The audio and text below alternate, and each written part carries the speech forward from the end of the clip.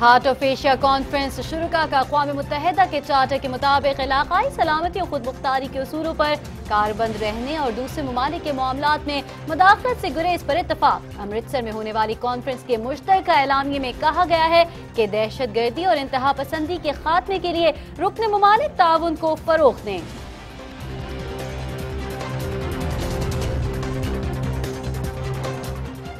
इल्ज़ाम तराशी के बजाय खत्े में तनाज़ात के पुरान हल के लिए इकदाम किए जाए। पाकिस्तान ने लाइन ऑफ़ कंट्रोल और वर्किंग बाउंड्री पर भारतीय जारियत के बावजूद हार्ट ऑफ़ एशिया कॉन्फ्रेंस में शिरकत की।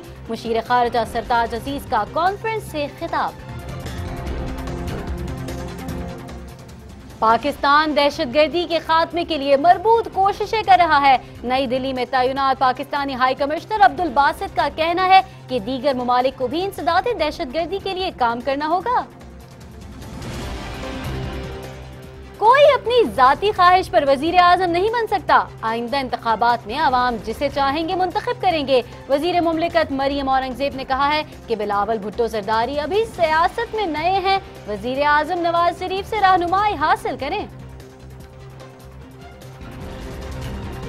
बिलावल भुट्टो जरदारी ने चार मुतालबात दोहराते हुए कहा कि अगर हुकूमत ने उनके मुतालबात तस्लीम न किए तो सत्ताईस दिसंबर के बाद दमादम मस्त कलंदर होगा।